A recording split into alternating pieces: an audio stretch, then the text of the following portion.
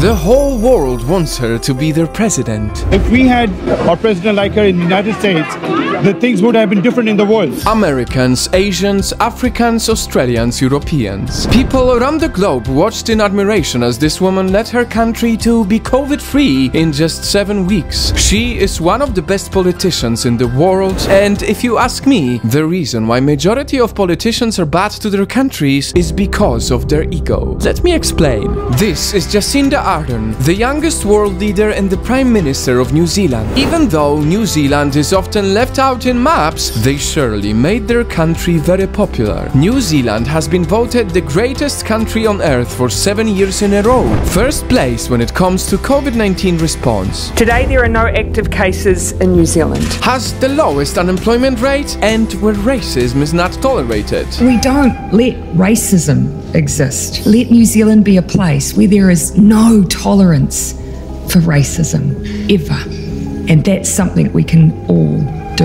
And in New Zealand, your mental health is a priority. The true measure of leadership is the ability to confront the anxiety of the people of their time.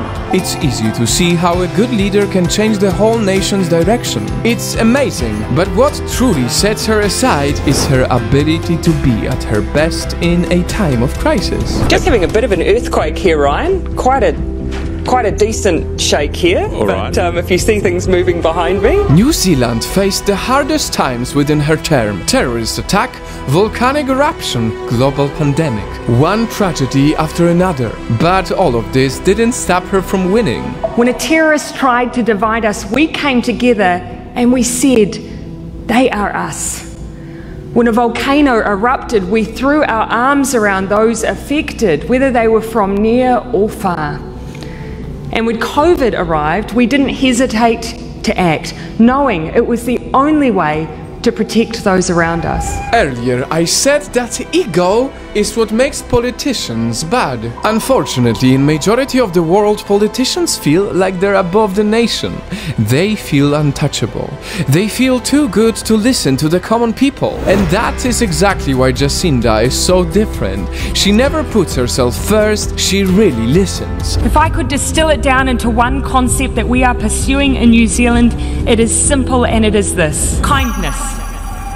To her, everything in New Zealand was about collaboration, positive language, rather than an ego of a politician who thinks they're always right and know better. And that is how you establish a united nation who respects their leader and not a divided nation. New Zealanders didn't fight with themselves, they didn't fight against the government, and when tragedy struck, they listened to the rules. They believed that their government was protecting them. They believe in Jacinda because she is the president every country wants. And so let's look at this inspiring woman as an example that we all should follow. Only then we will stop wishing for a leader like Jacinda to lead our country because we will have the government that doesn't feel better than the very people who voted for it. We have made a choice that I am proud of, that will leave a legacy, and that I hope means the next generation will see that we in New Zealand were on the right side of history.